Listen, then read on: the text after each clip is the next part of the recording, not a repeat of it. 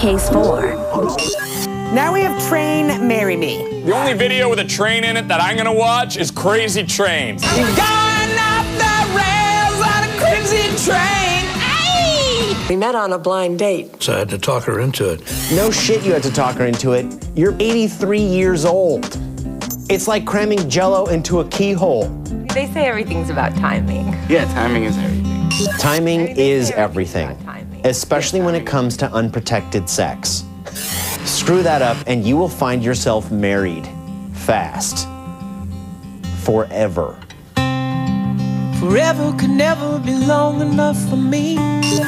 I just need to tell the singer of Train that you can actually be too romantic. Have you ever dated a guy that just loves you too much? It's creepy after a point. Tell me he doesn't cry after you have sex. I love you.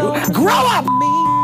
Is he wearing a dangly necklace? Maybe some bitter 20 something hasn't told him yet that that's a bad idea. So here we go. Listen, train wreck. A man should never over accessorize, okay? You can wear a watch, but leave the dangly conch shell necklaces to your mother in Florida. Boom.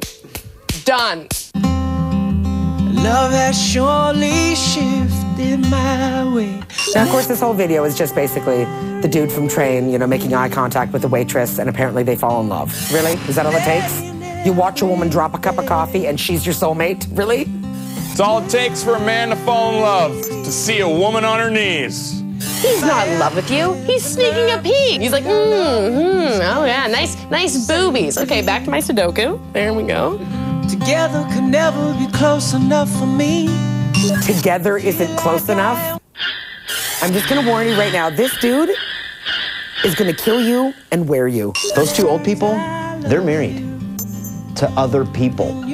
I can tell because they're still happy and touching each other. Now that the wait is over. When the hell did Howie Mandel join Train? First you got Bobby's World, then Deal or No Deal, and now Howie Mandel could rock the acoustic? That guy's like the Canadian Jamie Foxx. If I ever get the nerve to say hello in this cafe. I love how the, the waitress turns around and he's gone. And she just keeps staring at the table like he's gone. It's a part of the job, honey. Customers pay and leave. I know he's too shy to talk to her, but you still need to pay for coffee. And an old newspaper won't cover it. And then she just takes off her apron and leaves to go look for him. Train, if she can't commit to a shift, she can't commit to marriage. If I ever get the nerve to say hello in this cafe. Oh, that's so cute. He left his creepy Charlie Sheen hat. Did you notice this is a bad edit? Not once to take his hat off when he sat there eating. That is a total fake hat leave behind. Am I right?